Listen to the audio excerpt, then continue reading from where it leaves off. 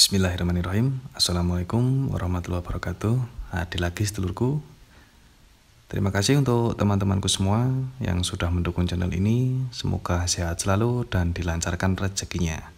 Yang belum subscribe silahkan subscribe ya lur. Karena subscribe itu gratis. Oke jangan lupa like-nya juga. Oke langsung saja lur. Kali ini saya akan sedikit mereview Tentang alat yang saya gunakan untuk menservis lampu LED ya tepatnya untuk mengetes mata LED atau chip LED ya. Jadi singkat cerita untuk alat yang lama kemarin dibeli teman saya lur. Dia tidak mau saya rakitkan yang baru nggak sabar ya mungkin ya. Akhirnya alat lama saya diangkut dan terpaksa saya harus rakit lagi ini. Oke di sini ada sebuah modul USB ya lur. Step up down nih jadi satu jadi bisa menaikkan dan juga bisa menurunkan. Jadi selain praktis untuk alat ini harganya juga lumayan terjangkau lur. Saya beli 28.000 ini ya speknya sudah lumayan sudah bisa mengetes mata LED mulai dari 3 volt sampai 9 volt jadi step up down bisa menurunkan tegangan dan bisa menaikkan tegangan. Untuk speknya sendiri di sini untuk input menggunakan mulai dari 3 volt ya. Ini tiga setengah volt sampai 12 volt lur untuk inputnya. Dan untuk outputnya sendiri di sini tertulis 1,2 volt maksimal menurunkan tegangannya dan 24 volt maksimal menaikkan tegangannya. Oke, yang sering saya gunakan saya hanya pakai charger HP ini lur.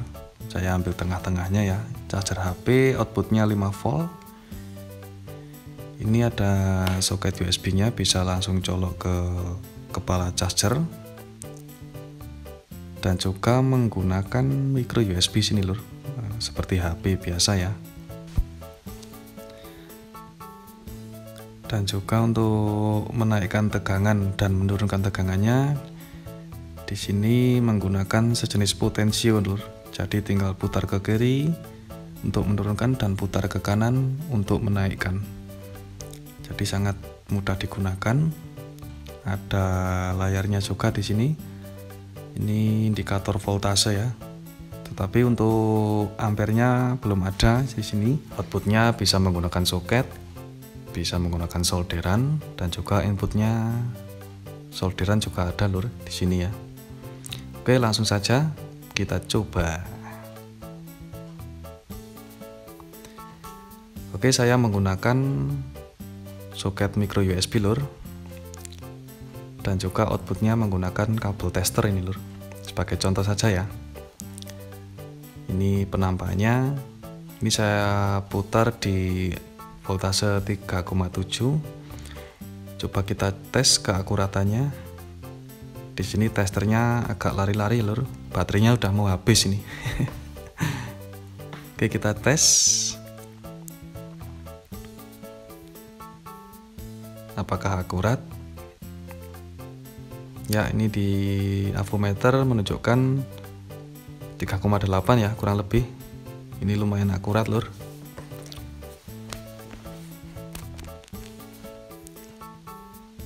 Oke jadi untuk chiplet ini rata-rata menggunakan voltase mulai dari 3 volt sampai 9 volt. Kita mulai dari chiplet jenis ini lur. Ini rata-rata menggunakan 3 volt ya. Untuk serinya macam-macam. Langsung saja kita tes ya menggunakan 3,7 apakah akan menyala atau tidak. Ini kalau kita menyentuhnya terbalik ini lampu tidak akan nyala lur. Kita coba bolak balik ya. Kalau yang sudah hafal min plusnya nggak masalah.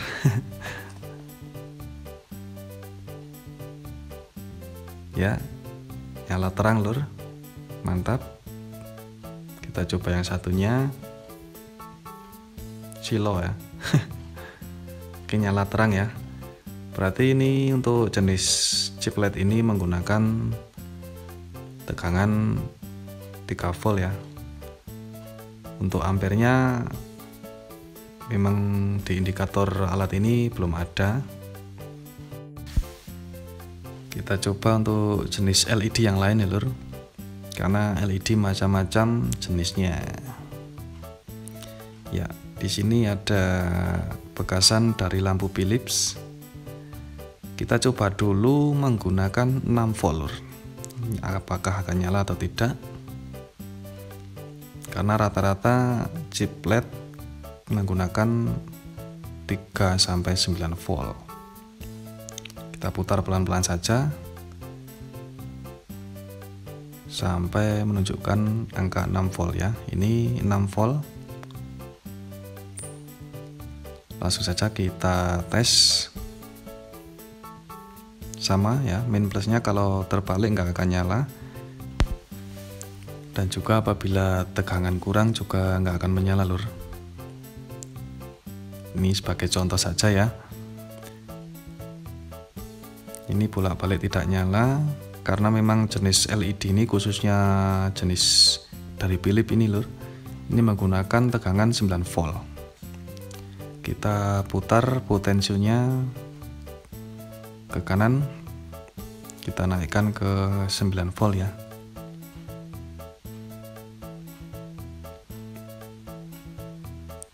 Oke nggak usah buru-buru. Kita pastikan di angka 9 volt. Jelas ya?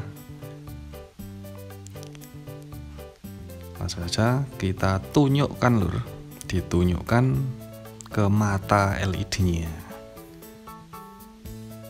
Oke, nyala. Nyala terang ya, Lur. Jadi perkiraan untuk LED-nya ini memang menggunakan 9 volt. Dan di sini juga ada saklar on off ya untuk mematikan tegangan outputnya.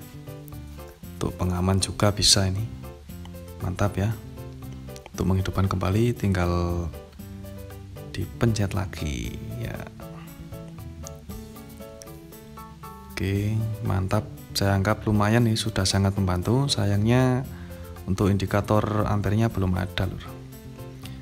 Jadi untuk menambahkan atau menyempurnakan alat ini saya tambahkan satu alat lagi ya lur yaitu volt ampere meter ini sini sama untuk voltasenya. Bedanya hanya ada penambahan indikator ampernya. Untuk cara pemasangannya ditunggu video berikutnya ya lur yang nanti akan kita gabung. Oke mungkin cukup sekian review kali ini. Kurang dan lebihnya saya mohon maaf apabila banyak salah kata. Akhir kata wassalamualaikum warahmatullahi wabarakatuh